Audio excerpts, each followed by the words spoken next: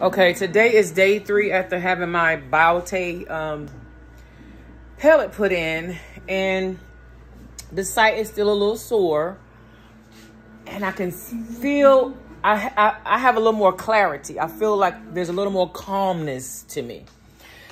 My joints still ache, especially my shoulder, just just for no reason, for no reason. This thing's This stuff is not rinsing. Why is the softener not rinsing? Wasting my product. Um, but anyway, I take the bandage off tomorrow. The main thing I can notice is just calmness and clarity. Where I was uh, having feel like anxiety attacks.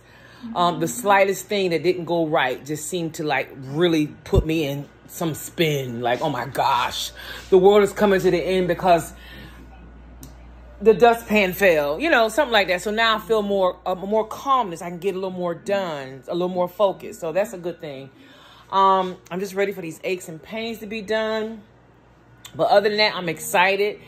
Uh, I'm excited because I know the benefits of this product. So, hey, stay tuned.